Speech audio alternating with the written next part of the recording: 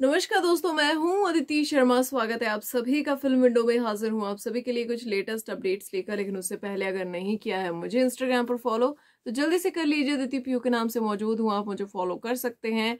तो लो जी भाई big boss के घर के अंदर शुरू हो गई हैं तैयारियाँ ग्रैंड फिनाले की। ग्रैंड फिनाले से पहले यहाँ पर, फिर से प्रमोशन हो रही है। हुनरबाज हुनरबाज हुनरबाज हर्ष और भारती आए हैं, उनके साथ सिद्धार्थ डे हैं। कोई और भी है यार, लेकिन उनको दिखा पता नहीं क्यों नहीं रहे।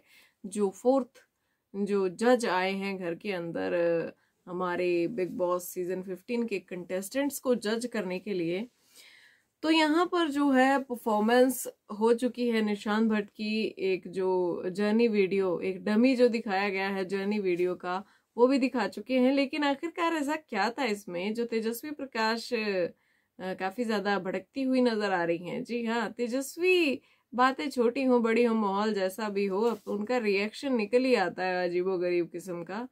तो यहाँ पर जो है, सभी जजेस जो आए हैं, उन्होंने निशांत को कहा जब वो डांस वांस कर चुके थे कि आओ भाई, अब तुम भी हमारे साथ बैठकर जज करो, तुम्हें जज बनना है ना तो जज करो, इन सब के बारे में कुछ ना कुछ बोलो। तो निशांत ने सबके बारे में जो कुछ बोला, वो सबने बड़े अच्छे से मज़ाक मस्ती में ले लिया, शमिता के बारे में बोला, प्रतीक के बारे में बोला करण के बारे में भी बोला। रश्मि के बारे में भी बोला तो सबने बड़े अच्छे से मज़ाक मस्ती में वो सारी चीज़ें ली। लेकिन जब बारी आई तेजस्वी की तो यहाँ पर तेजस्वी के बारे में जैसे ही निशान ने बोलना शुरू किया तो तेजस्वी ने टॉन्ट मारना शुरू कर दिया और तेजस्वी के हाव भाव से पता चल रहा था कि उनको अच्छा नहीं लग रहा है जो भी बोला जा रहा है।